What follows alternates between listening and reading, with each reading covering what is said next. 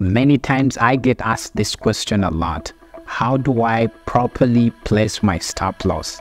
I know that there are many educators out there that have actually shared about this topic, but for me, I'm going to be sharing exactly how I do this. I mean, how exactly place my stop loss when I'm placing my trades. And also, at the end of this video, I'll be sharing why your stop loss can actually lead you to not becoming profitable in your forex journey. So strap yourself up. Let's get into the video. Now when it comes to placing your stop loss in my opinion there are usually only two ways that you can actually determine exactly where to place your stop loss. And number one is by you actually going ahead and back testing your strategy. I mean after several data collected from your back testing, this can help determine for you exactly where you're going to be placing your stop loss. Is it going to be a 5 pip stop loss? Is it going to be 10, 15, 25 uh, pip stop loss? I mean, this is all determined by your back testing of your strategy. Once you've back tested very well, you have enough data to show you exactly where you should be actually placing your stop loss in the market. So once you have this honed in, then trust me, you will become profitable in the long run as you actually place your trades. The second way that you can actually determine your stop loss, and this is actually an industry standard, is actually by you using the ATR or the average trading range. I mean, previously, if the market has been at a given level, you do not want to place your stop anywhere within that range because many times actually price comes back and it will take you out.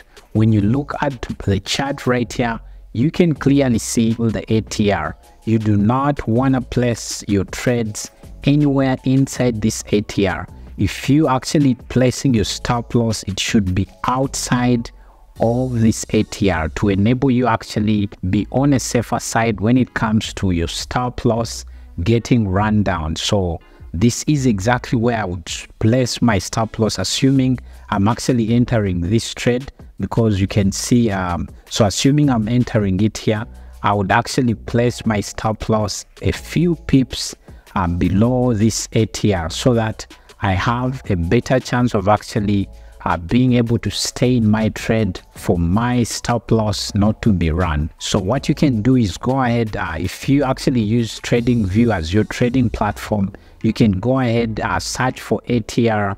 Uh, this is the particular uh, this is the particular indicator. It's called ATR Stop Loss Finder. So you can go ahead, uh, put it onto your chart for you to be able to use it. Now, of course, we've talked about the stop loss and exactly where you're going to be placing it on your trades.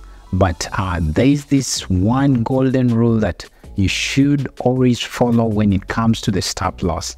And that's not moving your stop loss. When you see price maybe trying to run for your stop loss, please, please leave that stop loss right where it is. Do not touch it because this way, you will never become profitable in the forex market because once you keep adjusting it, what if price actually stays, you know, going far and far, far ahead or far into a drawdown?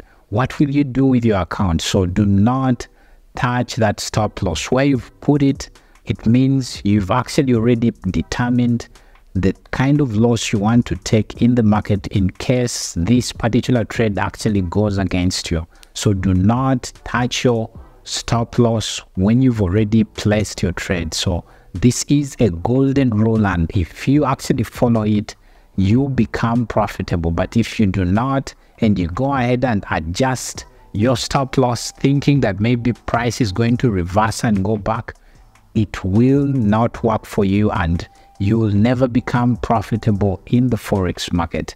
Okay now we come to the end of this video and in case you found this video very helpful please go ahead give it a like share it with a friend and you can as well go ahead and subscribe to the channel.